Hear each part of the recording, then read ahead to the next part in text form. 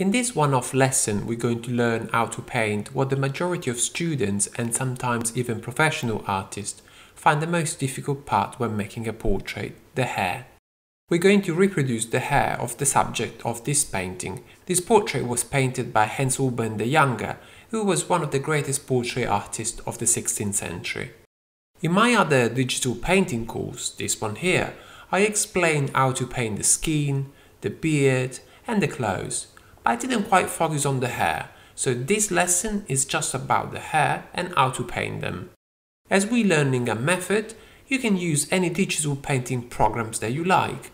I'm using Photoshop, but you can use Procreate, Affinity or Fresco, because it won't be about the tools that I use, which are quite basic to be honest, but it's more about understanding the approach. So let's dive into it.